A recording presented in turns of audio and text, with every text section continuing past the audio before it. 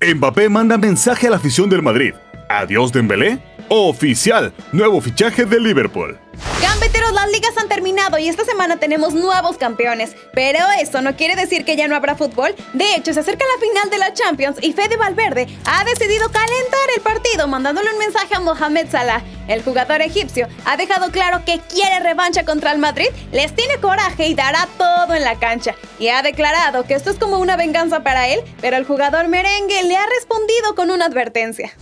Valverde habló de la actualidad del equipo previo a la Champions, pero cuando tocaron el tema del partido no dudó en darle un momento a Salah y lanzarle una dura advertencia, y en sus palabras, Mohamed Salah ha menospreciado el escudo del Real Madrid y a los jugadores con sus palabras. Y justo después de esto, declaró que estas ofensas en realidad lo que están haciendo es motivar al equipo.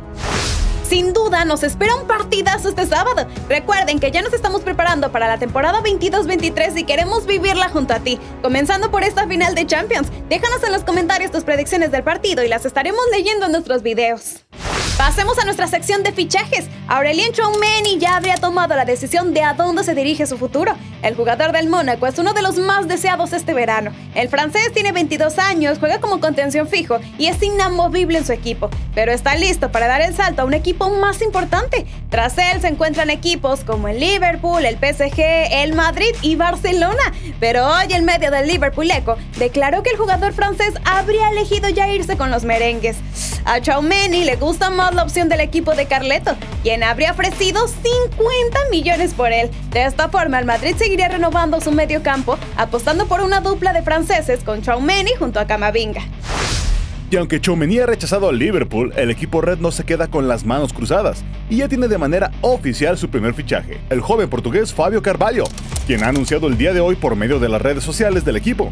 El jugador del Fulham llega por 5 millones de libras más 2.7 millones en variables. El portugués de 19 años fue uno de los jugadores fundamentales para el ascenso del equipo, así que seguro Liverpool sabrá sacarle jugo. Mientras tanto, en Barcelona las cosas se complican. Mateo Alemania adelantó que prácticamente Dembélé está fuera. No renovará y dejará al Barcelona el 30 de junio. Aún queda una última reunión para ver si a esto se le da vuelta, pero todo parece indicar que bye bye Dembélé. Estas fueron las declaraciones del directivo. El futuro de Dembélé lo sabrá él y sus agentes. Yo tengo mi propia opinión personal sobre este asunto, pero no viene a cuento. No hay noticias suyas, igual que en los últimos seis o siete meses. Recordemos, gameteros, que ya en enero Alemania había declarado que Dembélé no jugaría con el Barcelona tras negarse a renovar. Y eso no se cumplió. Esta historia puede dar vueltas en cualquier momento, pero por ahora el mosquito parece tener pie y medio fuera del Barcelona. El tema de Lewandowski ha dado mucho de qué hablar. El equipo no lo quiere dejar ir, el Barcelona lo quiere y el futbolista quiere irse. Pero ahora Pini Javi, agente del delantero, ha roto el silencio y reveló la verdadera razón por la que Legua rompió relación con su actual equipo. Muchos aseguraron que fue el sueldo que le ofrecían al renovar, pero en realidad no fue por el dinero, sino por el tiempo.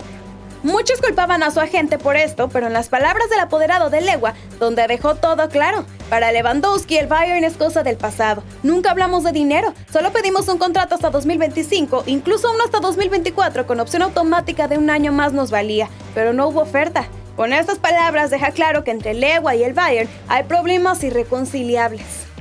Y hay que recordar que además de no querer ofrecerle un contrato más largo, el Bayern sí estuvo sondeado a Haaland para llevarlo a sus filas, situación que Legua tomó como una falta de respeto, pues en vez de estar en las negociaciones para su renovación, el equipo andaba en la calle buscando su reemplazo. Después de ocho títulos de liga, una Champions y más de 300 goles con el Bayern, el polaco considera que ya le ha dado más que suficiente al equipo y que el equipo debe de corresponder dejándolo partir y Barcelona es su destino favorito. ¿Qué terminará pasando Legua? Aquí se los iremos contando. Para terminar las noticias del día, hablemos nuevamente de Mbappé. El día de hoy, Mbappé tuvo una rueda de prensa en la que habló de todo. El delantero del PSG y Nasser Al-Khelaifi dieron los detalles del nuevo acuerdo de renovación del jugador, donde Kylian declaró que lo más importante para él era un proyecto deportivo y sus derechos de imagen. Además, el jugador envió un mensajito a los seguidores del Madrid. Quiero darle las gracias. He llevado su camiseta desde los 14 años. Siempre soñé con eso. Espero que entiendan mi decisión. Comprendo su decepción.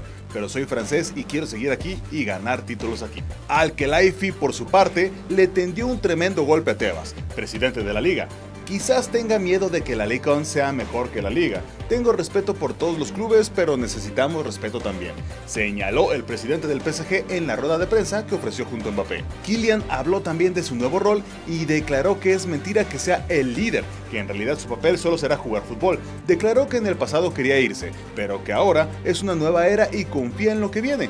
¿Qué opinas, gambetero, de las palabras de Mbappé?